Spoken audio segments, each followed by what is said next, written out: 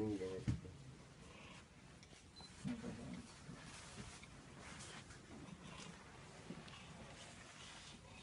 Еще там одна маленькая спаленка закрытая там.